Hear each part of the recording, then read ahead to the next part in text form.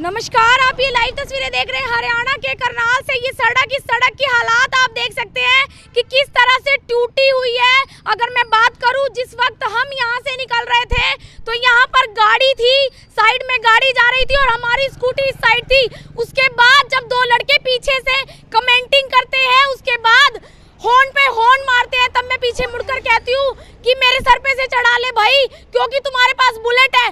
तो आप ये बात का अंदाज़ा नहीं लगा सकते कि जो मेरे साथ मौजूद सर थे उनको मारने तक पर वो उतारू हो जाते हैं यहाँ पर हम उनकी बुलेट को रोकते हैं वो बुलेट किस तरह से गिरी वो वीडियो आपने देखी होगी तो मैं यहाँ पर ये बात कहना चाहूँगी कि क्या कुछ जो है हालात है वो आप खुद देख सकते हैं और इस बात का अंदाज़ा लगा सकते हैं कि किस तरह से सीएम सिटी में होता है।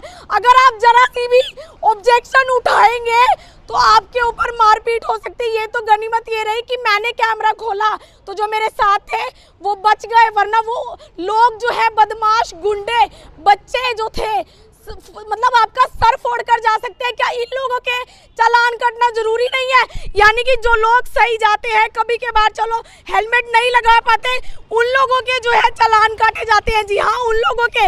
और जो बच्चे हैं शायद उनका लर्न, लर्निंग लाइसेंस भी नहीं बना होगा। शायद वो नंबर बुलेट का मैं आपको ज़रूर दिखाऊँगी वो वीडियो पूरी कि किस तरह से वो मारने को चढ़ जाते हैं। यहीं पर कहा जाता है कि बेटी बचाओ बेटी पढ़ाओ। और ये वो सड़क है इस सड़क के हालात देख लीजिए। कि क्या कैसे जो है ये सड़क है इस सड़क के हालात आपने देखे कि अगर इस पर से हम जल्दी जल्दी स्कूटी निकालेंगे और उन महाराजों को शायद वो राज, राजा के बेटे थे उनको जगह देते तब तक जो है वो हमारे ऊपर चढ़ाने को थे मोटरसाइकिल क्योंकि उनके उनके पास बुलेट थी जी हाँ डेढ़ लाख की आती है और वो सिर्फ़ अमीर लोग अफोर्ड कर पाते हैं। वो उनके पास बुलेट थी, वो हवाई जहाज़ होता है तो उसके आगे अगर कोई पैदल जा रहा बंदा या कोई एक्टिवा लेके कोई आता है तो वो नहीं टिक पाएगा। जी हाँ अगर वो हॉर्न दे रहे हैं तो आपको हटना है। अगर वो यहाँ पर हॉर्न दे रहे हैं तो आपको हटना वही अगर मैं बात करूँ तो चारों तरफ़ लोग खड़े थे। ये सारे लोग आपको नज़र आ जाएँगे।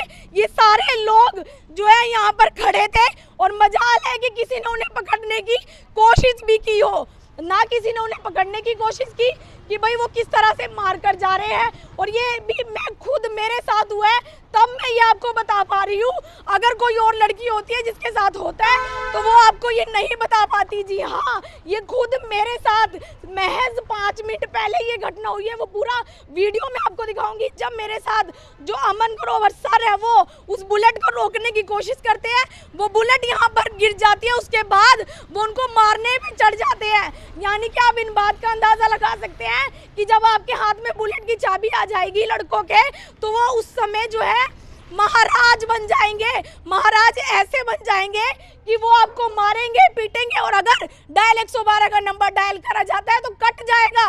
वो भी आपको नहीं मिल पाएगा। यानी कि वो लड़के अगर मुझे पकड़कर मारना शुरू कर देते हैं, तब भी ये लोग जो है यहाँ पर इस तरह से खड़े रहते हैं और इसी तरह से जो है यहाँ पर देखते रहते जी हाँ यही देश की सच्चाई है। इसीलिए आपको कोई हक नहीं है कि आप नवरात्रों में पूजा करें। और लड़कियों की कन्या को पूजा करें।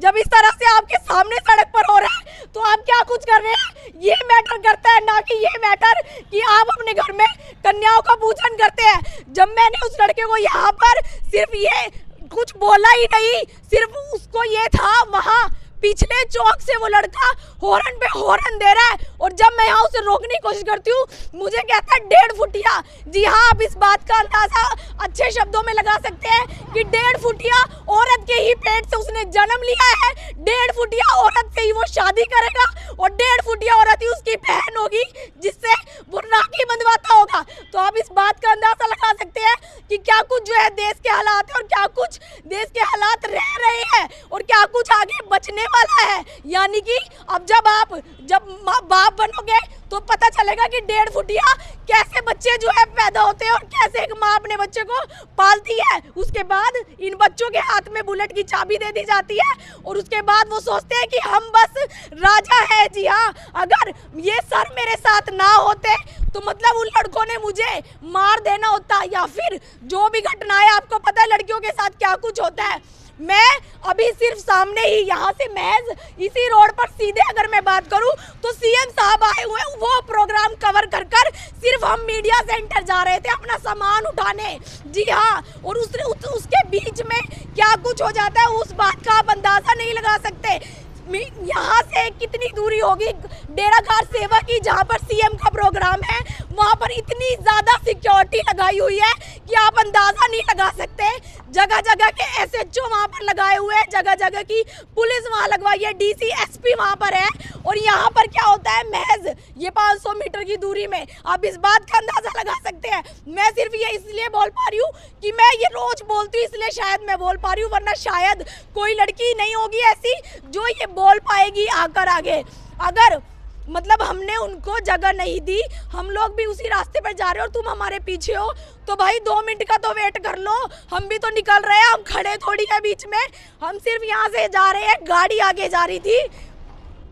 और इतने में वो उस चौक से लेकर जानबूझ के वो हॉर्न दे रहे थे। मैं ये बता रही हूँ कि वो जानबूझ के लगातार जो है हॉर्न दे रहे थे। उसके बाद भी नहीं रुकते हैं। साइड से निकालने की कोशिश करते हैं। जब मैंने कहा, भाई, सर पे चढ़ा दो, इससे अच्छा तो फिर उसके बाद किस तरह से वो लोग गाली गलौज करने पर उतर आते हैं, उसके बाद जब उनकी बुलेट को रोका जाता है तो किस तरह से वो बुलेट पर जब उनकी बुलेट को रोकने की कोशिश की जाती है, चाबी निकालने की, ताकि नंबर कर कर पुलिस को बुलाया जाए तो इतने में जो है वो किस तरह से भागते हैं और जो सर है उनके ऊपर किस तरह से हाथ उठाने का प्रयास करते हैं? तो आप इस बात का अंदाज़ा लगा सकते हैं कि क्या कुछ जो है हालात है। जी हाँ यहाँ पर लोगों से मैं बातचीत करूँगी। तो क्या कुछ जो है उनका कहना है? सर आपको लगता नहीं था कि आना चाहिए? या उनको कुछ बोलना चाहिए या उनको पकड़ना चाहिए? पकड़ना चाहिए था। देखा तो था आपने? नहीं देखा था? मौके पे नहीं था मैं अंदर था शॉप पे इतने में इतने वो चले गए थे। तो देख सकते हैं मतलब ये लोग सब यहीं पर थे। सर आप लोग तो यहाँ पर थे आपने देखा था कि क्या हुआ था? मैम देखा था हाँ आपको तो फिर एकदम जीना जब्ती करती है आपके ऊपर उन्होंने। तो इतना बीच बचाव करने लगे इतना तो आपने उनकी बाइक गिर दी थी। तो इससे भाग गए उन्होंने देखा आप मीडिया वाले इतने में तो भाग गए थे मैम। मतलब अगर मीडिया वाले ना हो तो लड़कियों को या फिर बुलेट वाले ये समझेंगे कि आगे वाली कोई कोई चीज़ ही नहीं है। क्या करें मैडम? हम तो कुछ बोल नहीं सकते मैम आपको तो काम करना अब। तो मतलब ये देख सकते हैं और इस वीडियो को आप इसलिए भी शेयर करें क्योंकि आपकी बहन या आपकी माँ या आपकी कोई भी मैं लड़कियों की बात नहीं कर रही, यहाँ तो लड़के मेरे मेरे साथ जो है सर मौजूद थे। तब ये हालात है। अगर मैं अकेली जा रही होती तो तब क्या कुछ हालात होते हैं? इस बात का भी आप अंदाज़ा लगा सकते हैं। यानी कि क्या कुछ जो है होता है? जी हाँ सिर्फ़ मतलब बुलेट ले रखी है तो उन्हें आगे जाना है, उन्हें स्टंट मारने हैं, उन्हें जल्दी जल्दी जाना है और उनकी स्पीड में हम बाधा बन रहे थे तो हमें भी जो है उड़ा के जाएँगे। ये सब हालात है यहाँ के। तो वो बुलेट और वो बाइक, वो सब आप देखते हैं, आप देखते हैं कि इसका चलान कटता है या नहीं, उन बच्चों को पकड़ा जाता है या नहीं। तो सभी से अपील यही रहेगी कि आप इस वीडियो को शेयर ज़रूर करें।